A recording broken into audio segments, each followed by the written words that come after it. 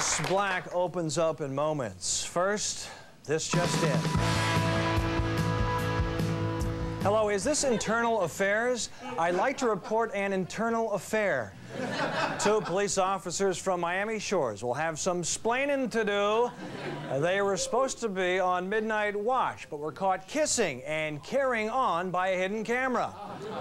Officer Davis, the one that looks most like a man, scrambled for any alibi, saying what the video didn't show was Michael Irvin holding a gun to our heads.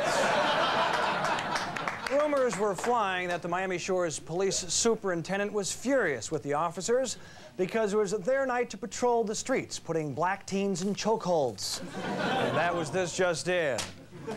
And now for another perspective on the world around us, we go to our newsroom where the tender Lewis Black is standing by. Lou. Yeah, uh, thanks, Greg. Uh, I was supposed to talk about something tonight, but um, I can't. I can't talk about it because I can't remember what I was supposed to talk about because I quit smoking ten days ago, and I'm a little out of control at this point. Uh, it appears to be somewhat of a problem for me. Uh, focus, focus. I'm getting too much oxygen. Too much oxygen. Too much oxygen. Uh, the dogs are barking, Craig, and I'm the only one who's hearing them.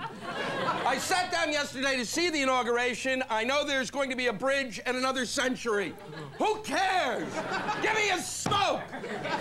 And Newt Gingrich lied to the ethics committee. Can you believe that? Huh? I don't care. You can give me a pack of cigarettes. He can shoot the ethics committee. I've just about had it. I don't know if I'll be able to really work on anything for a couple of weeks. I'm, I'm trying, you know, I'm trying. I, I, it, it, I, I, gotta hang out with non-smokers, those uptight snots. People who are standing outside in the freezing cold who are fun. So listen, what I'm gonna do is spend the next couple of days learning how to myself. Back to you, Craig. Thank you, Lou. That was uh, refreshing. Back. The kids simply scream daily.